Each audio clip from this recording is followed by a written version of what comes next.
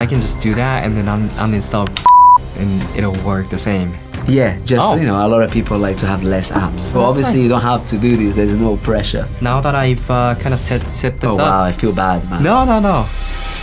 All right, everyone. I'm here with Tyler from Supabase, and as you can tell, this is also a slightly different studio. I've been here in Japan for about a week for the Raycast events and the hackathon that we did alongside Supabase, Vercel, Anthropic, and AWS. The hackathon was great, wasn't it? Man, the hackathon. So many amazing. great projects. We've known Supabase and people from Supabase for a long time.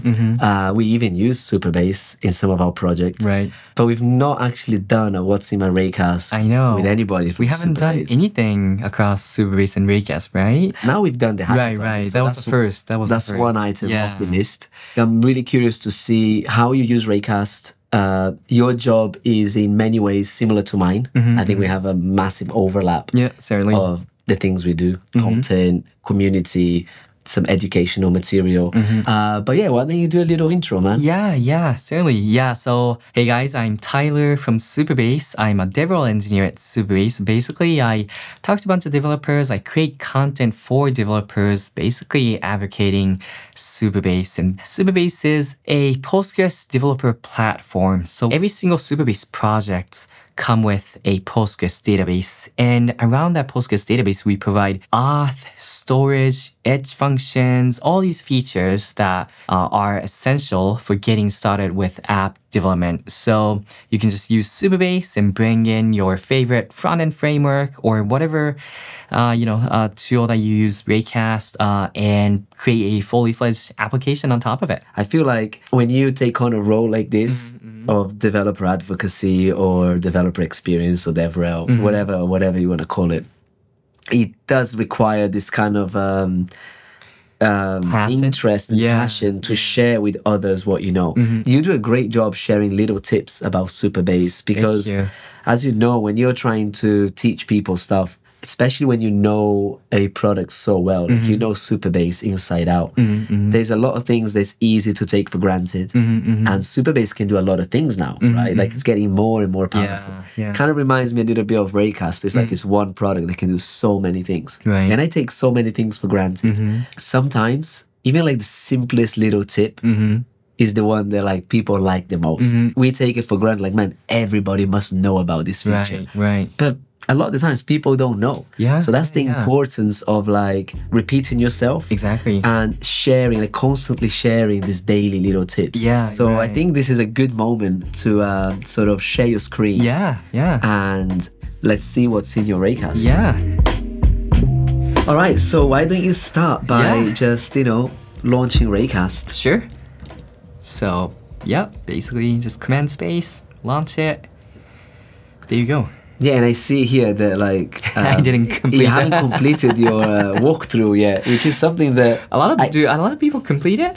No, a lot of Right, people okay, okay. still have it there. Yeah, yeah, Like, yeah, sure. You'd be surprised. Yeah, yeah, yeah. You- Here you can do Command K to Oh. dismiss the walkthrough. I did not There you know go. that. Wow. So now you have a bit more, uh, Right, more room for things that Nice. Actually matter. Looking at here, like now we, we see Raycast. Obviously, we see the suggestions. Mm-hmm, Um, you have a marketing calendar, which is very interesting. Supabase marketing calendar is Okay. basically this is just a quick link. Quick link, Yeah. and uh, it's funny because we have uh, what we call a content calendar. Ah, same idea. Same idea. Yeah, like yeah. Bruno and I and Inga, we usually use the content calendar to Mm-hmm. Just like plot down all of the Exactly. things we're launching. So which, I, I love to see this video is gonna go out and whatnot. Yeah, I want to talk about this uh, Twitter tabs. Twitter So tab, what's that? This one, this one's a custom extension that I created. Okay. Wow, Right, we're so- jumping straight into extensions. I like this. Yeah, yeah. We have four tabs here, right? The Yeah. one, the first one is this Twitter Pro. The second one is my um, Twitter profile. And then here I have the Ray dot Oh, SO okay, open, so it that's just opens it up. And then here's here's Claude for me to kind of uh, talk back and forth, kind of brainstorm some new ideas. Um, Okay. so Wow. so this set of tabs is something that I want to open, and I know there are Raycast extensions that do this. There's I don't know that I don't remember the name, but there are Raycast extension that opens a set of uh, tabs that you um, specify. The reason why I created this custom extension was because those custom extensions that are out there, you had to first select, I think it was like multi tabs or something. You select that extension and then you select which set of tabs you want to open. So you have Okay. to kind of hit return twice. This is a standalone Raycast extension that is fixed at opening these tabs. Yeah. Okay. So, this is a no view command in Raycast, basically, where you just press enter once. You could even assign a hotkey to this if you want to be even quicker. For Probably example. should. Yeah, I probably Yeah, should do that. yeah, Yeah. And I also have multiple Chrome profiles, but this extension always opens it on my essentially my work profile. Right. So yeah, this is a Yeah, yeah, because normally it would open in your previously used Yes, profile, exactly. right? Whatever window that was. Yeah, yeah. Yeah. So you've Yeah. got your four URLs in there. Yep, yep. Ah, this is what I wanted to see. so Profile we've got three? profile three. Yeah, This is yeah. your work profile, right? Exactly, exactly. I see. Yeah. And then he passed some flags to opening that profile. Honestly, beyond this, I just let Claude do it. It was very easy Oh, that's creating this. Yeah, yeah. I That's talked to Claude. I. Oh, I want this custom extension. I want these are the tabs that I want to open. Create it, and, And that's it. And it opens in. Google Chrome. Yeah, yeah. It's quite simple to be honest. What, 36 lines of code? It's very simple. Yeah. I think a lot of people are sleeping on uh, building extensions with. AI. The Raycast API is so simple. Yeah, yeah, yeah. Building an extension with AI is like super easy. There's not Yeah. that much that can go wrong. Yeah, yeah, I did it correctly on the first try, and then I kind of wanted to add the profile part later on, so I kind of went back and Man. talked about. I love this. Yeah. Okay, let's see. What else do I have going on? So, other than that, I you know I I go to the marketing calendar a lot. I recently only recently started um, knowing about the AI features at the AI hackathon that we did together. One of the community members showed me a trick where he just was able to pass the clipboard into the AI chat, and it was like I think he had the the raw list of all the projects in the clipboard and then he asked it to kind of randomize the order and format it nicely in a in a bullet points in markdown format Yeah. i thought that was really cool that's that's something i like you can just reference clipboard. Yeah, so there are a couple of ways to do this. If you want, I can quickly show you. Oh, yeah. So if you're not using AI too much Yeah. in Raycast, I think some of these little tips are useful because you know using ChatGPT or Claude is really good. Mm-hmm. They're amazing at what they do, and I I think like most people are using them. Mm-hmm, But the good thing about having AI in Raycast is that it has access to like extra things that are Right. at your operating system Right, level. right. Do you use clipboard history? i do yeah sometimes If you search for clipboard history Can I here, try it real quick so if Yeah, i yeah. copy this the list of all the four urls that i have opened Yep. um, and then clipboard history and say you have this URL Mm-hmm. and for whatever reason you want to send that to AI and you can do command K and then there should be uh, send to AI chat. sent to AI So chat. that opens a new AI chat for you Oh, wow, with wow. that URL Right, right, already right, sent to right. it. And then from And here you can can send tell it. whatever Or another way to do it is that from the AI chat window Mm-hmm. you can do command K and then type in attach.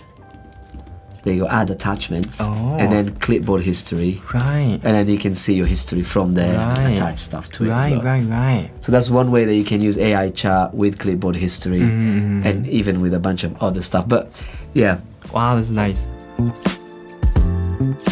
let's see other than that uh, obviously emojis who doesn't use emojis i, I use Raycast emojis oh yeah, it's it's weird that when you when you are sitting here it's like what is the shortcut to opening emojis like i do it all the time like uh, Yeah. wi- without even thinking. And, I, and like wait was it control option?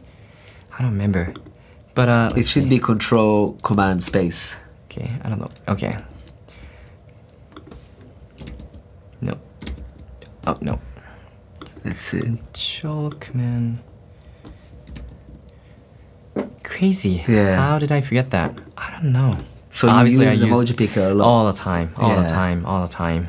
Yeah, obviously I replaced it with the default emoji shortcut, right? Yeah. That's the that's the shortcut that I can remember. it's like yeah. But yeah, I use this all the time. It's it's my go-to. Do you use window management at all? I actually use rectangle, so it's it's a separate program for Yeah, that. I'm familiar with it. Yeah, I was using Rectangle as Yeah, well. yeah, yeah. Just because I was already using Rectangle when I first installed Raycast. So Yeah, I mean, yeah. of course, you don't need to change, but if you ever feel like changing, a lot of people do change just so they have less apps Mhm, installed, mhm. and like Raycast can already do that. Mm, mm. And I, I sound Yeah. like I'm preaching it here. No, I'm no, no, I just no. want to kind I'd of uh, show you and hopefully Yeah, yeah, teach yeah. other people watching yeah, so let's that something if you type in extensions extension. and go to the second one, that's it. this one. Uh, the Uh, first one. first sorry. one. You- you changed. Yeah. And then if you search for window management, that's it. Okay. Now, if you select the first one here, Yep.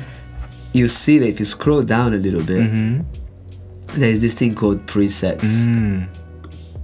And presets kind of allow you Oh. to sort of like easily migrate from a different window Right, right, management right, right, uh, right, app. Right. So if one day you feel like, oh, you want to sort of minimize how many apps you have, Mm-hmm. then you can set rectangle and then you have the same Mm. hotkeys. Right, right, so you don't have to like retrain your brain. Oh. Oh, but obviously nice. you don't have to do this. There's no pressure. I was like, I can just do that and then un- uninstall Rectangle and it'll work the same. Yeah, just Oh. you know, a lot of people like to have less apps. So Doing it right now. And then Raycast can uninstall apps as well, right? I think I recently saw this on Twitter. yeah, That, like, obviously, when you uninstall stuff, you want to make sure it uninstalls all the system folders and this and that, right? All the junk stuff. And Raycast can basically do that, right? yeah. So a lot of people don't know I about this. guess now that I've uh, kind of set set this oh up. wow, I feel bad, man. No, no, no. Uninstall? Is it uninstall? No, you search for the app first, Oh, rectangle. and then you do Command K, right. and then you do uninstall.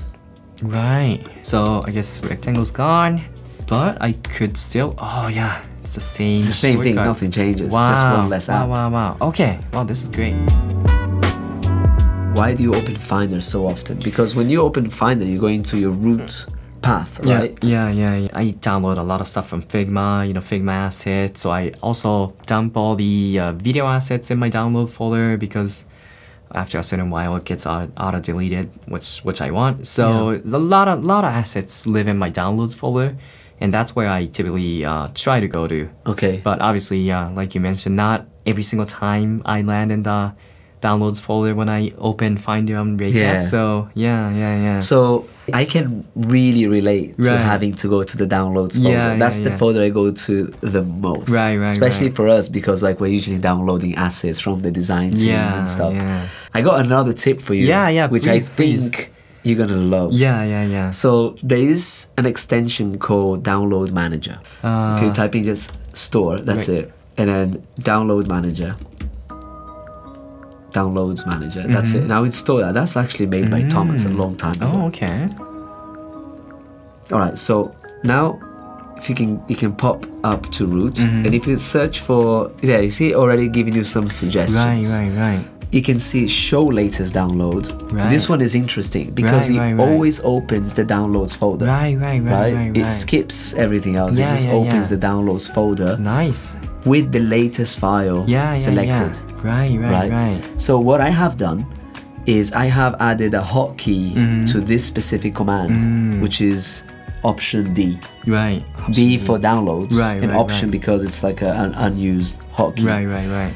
So all the time, like when I need anything from downloads, I just do option D. Mm. I don't even open Raycast, Right, right, right. and I'm already there. Right, right, right. And so Oh. that's like, man, once I got used to this, Right, right, right. I feel like that's probably the Oh. combination I hit the most. It's a game changer. You know, Right, right. I feel like using hotkeys for commands that you open frequently, Mm-hmm, it ca- in in the long run, it saves you a lot of time, Mhm, mhm, mhm. especially for us that we're opening downloads. Yeah. dude, that was great. This it was, great. um, yeah. it I love seeing like how how you're using Raycast. At the end of the day, people always think that you have to use so much of Mm-hmm. Raycast, and I think this is a perfect example of how you can just use a few things, Mm-hmm, and if they help you work better and be more productive, then uh, that's all there is to it. Yeah, yeah, yeah. This has been amazing. Yeah, Thank you, thanks, man. Yeah, And thanks for coming having over. me Yeah, thanks home. for coming over to this office. Yeah, yeah, it's beautiful, man. The first guest in this office. Thanks so Yeah, much, yeah, man. yeah. I appreciate it.